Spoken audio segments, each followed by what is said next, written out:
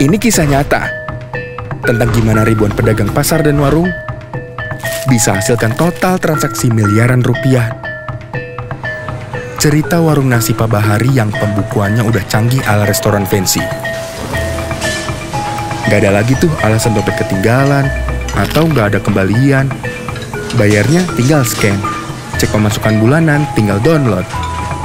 Ada juga cerita warkop Bude yang gak kalah rame sama coffee shop di SCBD.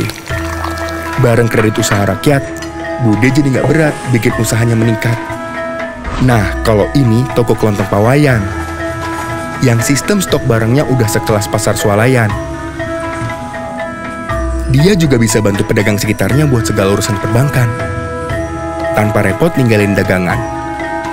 Ini baru tiga dari ribuan kisah nyata lainnya. Cerita mimpi besar yang sekarang bisa dimulai dari langkah kecil. Cerita naik kelasnya pedagang warung dan pasar tradisional yang turut berkontribusi untuk ekonomi nasional. Ini bentuk nyata komitmen mandiri untuk terus meningkatkan ekosistem urban. Saatnya naik kelas bersama Mandiri.